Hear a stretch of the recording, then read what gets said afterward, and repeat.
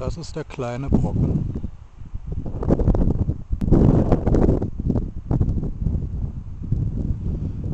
Und hier geht's runter. Da unten ist der Eckertalsperre.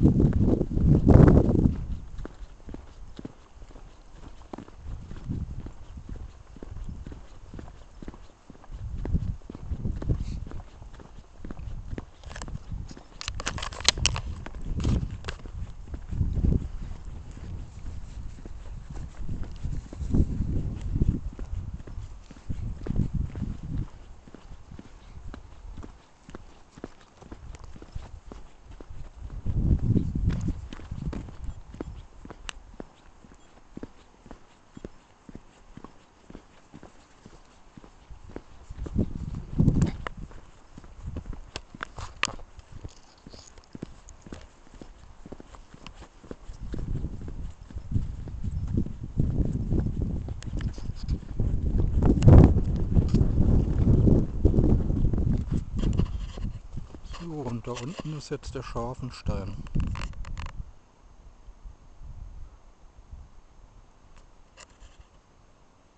Denke ich mal, sieht das der Position ganz anders aus, aber das ist er.